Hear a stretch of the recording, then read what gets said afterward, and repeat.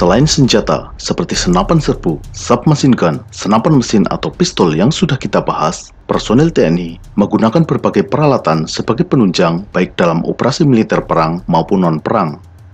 Perlengkapan tersebut mulai dari seragam loreng atau kamuflase, pisau, helm tempur, sabuk, rompi, hingga peralatan seperti night vision dan radio komunikasi. Tidak semua personel TNI memakai seluruh perlengkapan tersebut, Peralatan-peralatan tersebut disesuaikan dengan misi yang sedang dilaksanakan. Seragam loreng dan pisau militer sudah kita bahas dalam episode terdahulu. Dalam video ini, kita akan mengulas peralatan perseorangan yang digunakan oleh anggota TNI. Kita mulai dari perlengkapan pelindung. Salah satu bagian paling vital dari tubuh manusia adalah kepala. Untuk itu, dalam pertempuran, kepala harus dilindungi dari sumber bahaya baik berupa tembakan musuh maupun pecahan ledakan artileri, pecahan granat, dan lain-lain. Untuk melindungi kepala, prajurit menggunakan helm tempur. Dahulu, helm tempur sering disebut sebagai topi baja karena terbuat dari baja. Namun saat ini, helm tempur terbuat dari material yang lebih ringan, semisal Kevlar.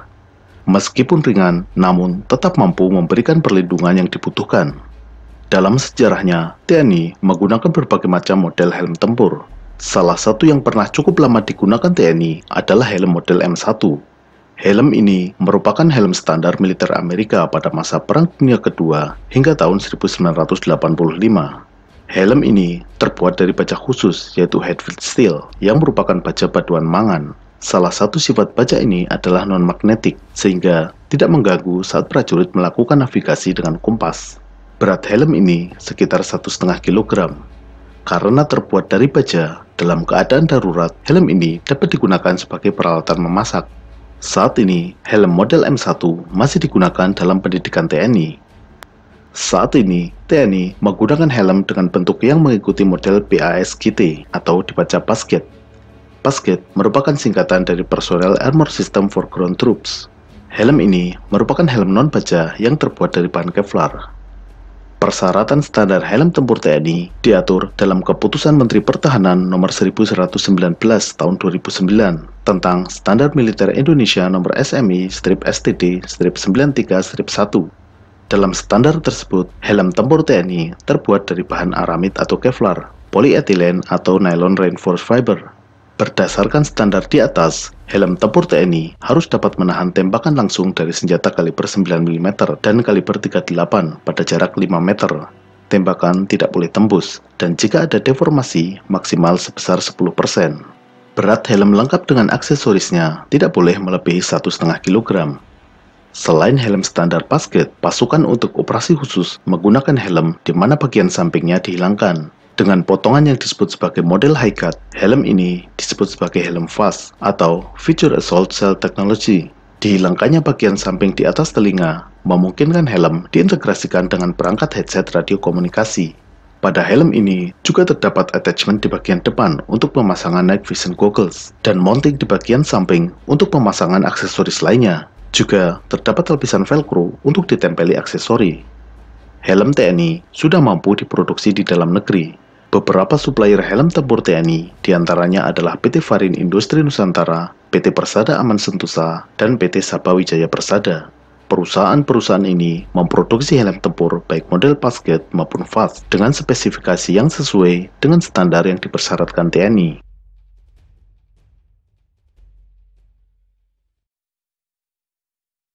Salah satu metode untuk membawa perlengkapan adalah dipasangkan pada sabuk. Sabuk ini merupakan sistem angkut perseorangan yang paling dasar.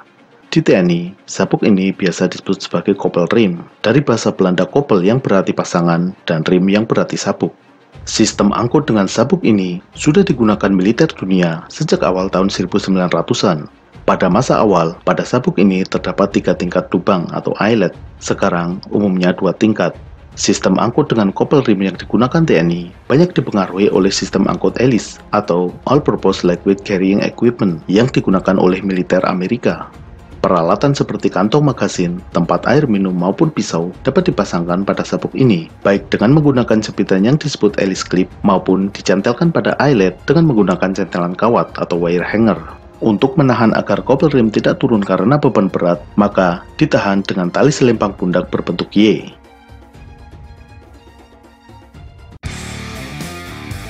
Perlengkapan tempur TNI juga berupa rompi. Rompi ini bisa berupa rompi balistik atau rompi anti peluru maupun rompi sebagai sistem angkut untuk membawa berbagai peralatan seperti magasin cadangan, radio komunikasi, pisau militer, dan lain-lain. TNI menggunakan berbagai jenis rompi atau vest, baik produksi luar negeri dengan merek terkenal semisal Black Hawk dan 511, juga rompi produk-produk buatan dalam negeri. Beberapa jenis rompi armor yang digunakan TNI adalah Armo Guard Light buatan PT Varin Industri Nusantara, ada juga rompi buatan PT Persada Aman Sentosa dengan merek Pas Taktikal. Pasukan Kostrad menggunakan rompi yang disebut rompi sakti, singkatan dari sistem angkut kelengkapan tempur individu. Rompi sakti ini terdiri dari dua komponen, yaitu rompi balistik sakti atau RBS dan rompi angkut sakti disingkat RAS. Masing-masing dapat digunakan secara terpisah, namun juga dapat diintegrasikan menjadi satu kesatuan. Rompi Sakti ini dirancang bangun oleh perusahaan dalam negeri yaitu Elemental Defense Industries. Dalam perancangannya, banyak mendapat masukan dari Agus Harimurti Yudhoyono saat masih berdinas di TNI. Selain rompi buatan perusahaan besar, TNI juga menggunakan rompi hasil produksi konveksi skala kecil. Di antaranya adalah rompi Durheim Black Mamba buatan Bandung. Rompi modern umumnya sudah menggunakan sistem modular yang digunakan dalam MOLI, Modular Lightweight Load Carrying Equipment, Sistem ini menggunakan webbing yang disebut PALS, singkatan dari Pouch Attachment Ladder System. Di Indonesia, sistem ini disebut SULAM, kependekan dari Sistem Urai Lilit Angkut Modular, untuk memasang bagian tambahan dengan cara melilitkan webbing vertikal dan horizontal dengan cara seperti dianyam. Tas punggung atau ransel merupakan perlengkapan untuk mengangkut barang dalam jumlah relatif banyak, Dibandingkan jenis tas lainnya, tas ransel memiliki keunggulan yaitu tidak mengganggu pergerakan karena berada di belakang badan. TNI menggunakan berbagai jenis dan ukuran ransel. Isi ransel ini disesuaikan dengan jenis dan durasi misi yang diemban prajurit TNI. Umumnya, ransel ini berisi pakaian dan sepatu ganti, persediaan makanan dalam bentuk MRE atau meal ready to eat, peralatan survival, dan alat pendukung lainnya. Tas TNI sebagian besar masih berupa tas berbahan kain kanvas terpal, Bahan ini merupakan bahan yang tebal, kuat, dan awet, meskipun relatif lebih berat. Namun, saat ini TNI juga sudah menggunakan tas berbahan kain yang lebih modern, semisal Cordura.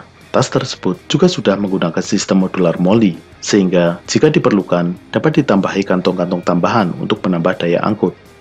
Sejak dahulu, TNI sudah menggunakan ransel buatan dalam negeri. Perusahaan pembuat ransel militer yang telah lama menyuplai kebutuhan TNI adalah PT Kuno Internul Sajaya di Tulungagung, Jawa Timur. Selain ransel, perusahaan ini juga memproduksi kopel rim, tenda militer, hingga meja dan kursi lapangan. Tas ransel tempur umumnya dilengkapi dengan fitur quick release ransel dapat ditanggalkan dengan cepat, sehingga ketika terjadi kontak, tas punggung ini dapat dilepas dengan cepat agar tidak mengganggu manuver pergerakan personil.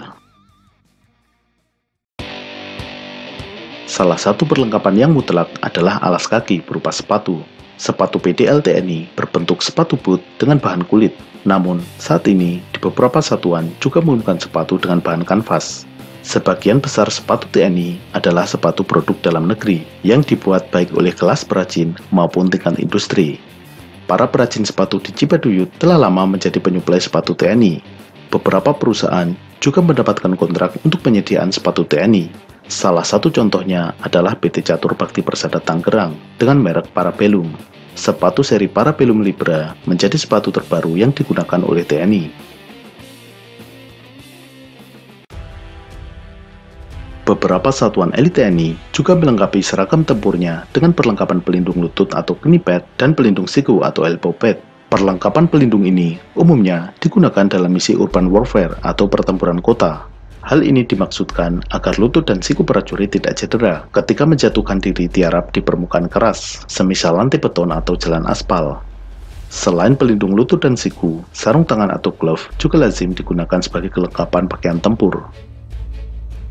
Dalam misi pertempuran jarak dekat, prajurit TNI juga dilengkapi dengan pelindung mata berupa goggles. Perlengkapan ini melindungi mata dari debu dan bahaya lainnya. Alat pelindung ini umumnya berbahan polikarbonat. Meskipun tidak sepenuhnya tahan tembakan, namun cukup untuk memberikan perlindungan tambahan. Identitas anggota pasukan khusus sering kali dirahasiakan, untuk menjaga kerahasiaan identitas personil pasukan khusus, mereka menggunakan penutup muka yang disebut balaklava. Balaklava ini bisa dibuat dari berbagai macam bahan, baik bahan alam seperti katun atau sutra, maupun bahan sintetis, semisal polipropilen dan neopren. Salah satu bahan sintetis yang digunakan untuk balaklava berkualitas adalah Nomex. Nomex merupakan bahan semacam nylon dengan keunggulan tahan api. Pasukan elit TNI menggunakan balaklava baik buatan luar seperti Black Hawk dan Oakley maupun buatan pabrikan dalam negeri. Untuk misi di malam hari maupun dalam ruangan yang gelap, pasukan khusus TNI dilengkapi dengan peralatan Night Vision Goggle atau NVG. Night Vision bekerja dengan melipat gandakan cahaya yang masuk. Prinsip kerjanya adalah sebagai berikut. Ketika gelombang cahaya atau foton masuk ke dalam peralatan Night Vision, diterima oleh sensor yang bernama fotokatode. Fotokatode ini merubah gelombang cahaya atau foton menjadi sinyal-sinyal elektron. Kemudian, sinyal elektron ini diamplifikasi dengan foto multiplier Lalu, elektron yang sudah diamplifikasi ini mengenai layar fosfor dan menghasilkan cahaya yang lebih terang daripada cahaya yang masuk. Night vision umumnya terpasang pada helm dan dapat dilipat ke atas ketika tidak digunakan. Dalam operasi militer, telekomunikasi menjadi salah satu hal yang sangat penting. TNI dilengkapi dengan perangkat radio telekomunikasi. Komunikasi radio ini ada yang tingkat perseorangan, tingkat regu, kompi, dan seterusnya. Untuk pasukan reguler, perangkat radio komunikasi umumnya berada di tingkat regu atau kompi dan berupa manpack yang dioperasikan oleh operator radio. Salah satu radio legendaris yang digunakan TNI adalah ANPRC-77 yang digunakan sejak masa operasi Seroja. Kini, TNI telah menggunakan perangkat yang lebih baru, semisal radio TR-2400 buatan SAAB Green Tech Communication System.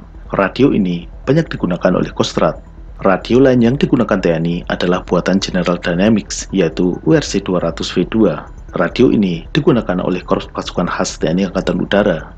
TNI juga menggunakan radio komunikasi rakitan dalam negeri, LAN VDR 100MP buatan PT LAN Industri. PT LAN Industri adalah perusahaan BUMN yang bergerak di bidang peralatan elektronik. Untuk operasi militer khusus atau dalam satuan pasukan elit, setiap personel dilengkapi dengan radio komunikasi. Radio komunikasi perseorangan ini umumnya dilengkapi dengan handsfree berupa headset, sehingga dapat digunakan sambil bertempur. Sebagai sebuah perlengkapan militer, perangkat ini memiliki spesifikasi khusus, semisal menggunakan enkripsi sehingga tidak disadap oleh musuh. Perangkat mikrofonnya juga memiliki fitur khusus yang mampu meredam suara tembakan, sehingga meskipun dalam keadaan bising karena suara tembakan, suara vokal pembicaraan tetap terdengar jelas. Perangkat radio komunikasi yang banyak digunakan oleh unit khusus TNI di antaranya adalah Harris, buatan Harris Corporation dari Florida, Amerika Serikat. Seri yang banyak digunakan adalah Harris Falcon 3. PT Land Industry juga sudah memproduksi sistem radio komunikasi personal untuk TNI bernama Landstrat M5. Landstrat merupakan singkatan dari Land Software Tactical Radio, sedangkan M5 menunjukkan multiband dengan output maksimum 5 watt Itulah perlengkapan perseorangan TNI yang sebagian besar sudah diproduksi dalam negeri. Selain perusahaan BUMN seperti PT Pindad, PT Dirgantara Indonesia, dan PT PAL, ada beberapa perusahaan swasta yang bergerak di bidang industri pertahanan. Beberapa di antaranya sudah disebut dalam video ini. Pada episode berikutnya, kita akan membahas industri-industri tersebut. Kita akan mengulas industri pertahanan dalam negeri.